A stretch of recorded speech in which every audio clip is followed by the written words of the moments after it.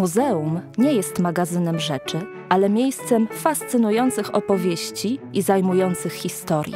Wystarczy się przypatrzeć i uważniej posłuchać, o czym mówią do nas obrazy, grafiki, dokumenty, fotografie i przedmioty codziennego użytku.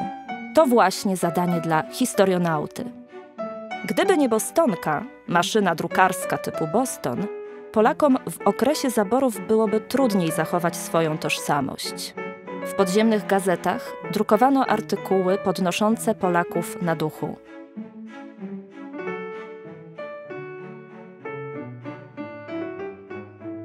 Czyje to księgi rachunkowe? Poznajcie Karola Godule, polskiego Rockefellera z Górnego Śląska, uczciwego przemysłowca, który w połowie XIX wieku zbudował imperium przemysłowe. Pomagał swoim pracownikom, budował dla nich domy, wprowadził bezpłatną opiekę lekarską. Wreszcie pod koniec życia zapisał im w testamencie 50 tysięcy talarów.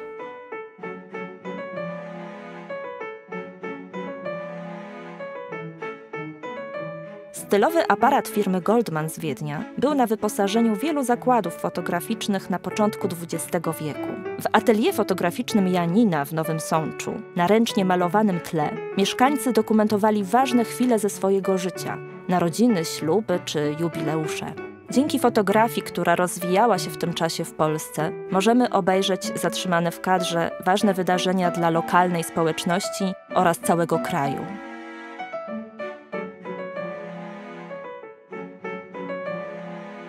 Pudełka zapałek oraz ich przedwojenne etykiety z fabryki w Mszczonowie są dla kolekcjonerów filumenistów cennym nabytkiem na aukcjach, a dla historionauty to źródło informacji o lokalnej historii Mszczonowa. Zapałczarnia była pierwszym ważniejszym zakładem przemysłowym miasta, który przetrwał pół wieku. Śledząc losy fabryki, poznajemy burzliwe losy Mszczonowa oraz tło społeczno-polityczne kraju.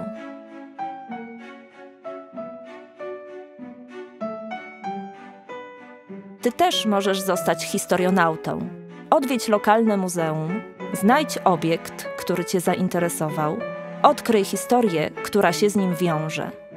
Inspiracji i wsparcia szukaj w materiałach Teka Historionauty, na stronie programu Historionauci oraz na portalu Historia Poszukaj. Ożywiaj z nami lokalną historię.